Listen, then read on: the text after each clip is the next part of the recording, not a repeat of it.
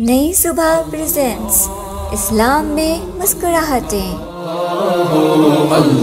हज़रत अब्दुलरहमान बिन अबी उकैल रज़ी अल्लाह तहो बयान करते हैं, मैं एक वफ़द के साथ आप सल्लल्लाहु अलैहि वसल्लम की खिदमत में हाजिर हुआ।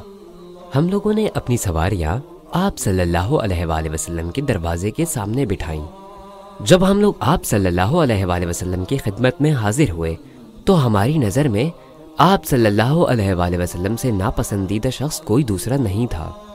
जब हम आप सल्लल्लाहु अलैहि वसल्लम के पास से वापस हुए तो हमारी निगाहों में आपसे महबूब शख्स कोई दूसरा नहीं था।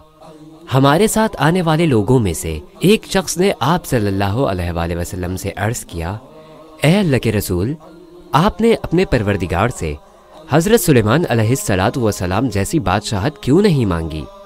ये सुनकर आप सल्लल्लाहु अलैहि वसल्लम खिलखिलाकर हंस दिए और फरमाने लगे, शायद के तुम्हारे साथी, यानी आप सल्लल्लाहु अलैहि वसल्लम के लिए अल्लाह के नज़दीक सुलेमान अलैहिस्सलाम से भी अफजल चीज़ रखी हुई है।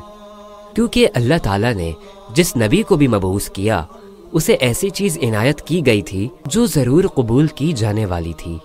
उन अम्बिया अलैहिस्सलाम में से बाज ने तो उस दुआ को दुनिया ही में इस्तेमाल कर लिया और उनकी दुआ कबूल हो गई।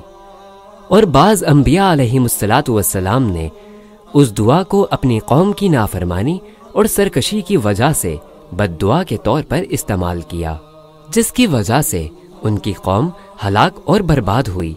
मगर जो कबूल होने वाली दुआ मुझे अल्लाह ताला की तरफ़ से अता की गई है, वो मैंने अपने परवरदिगार के पास छुपा कर रखी है, जो मैं क़यामत के दिन अपनी उम्मत की शफात के लिए इस्तेमाल करूँगा। मजमा जवाद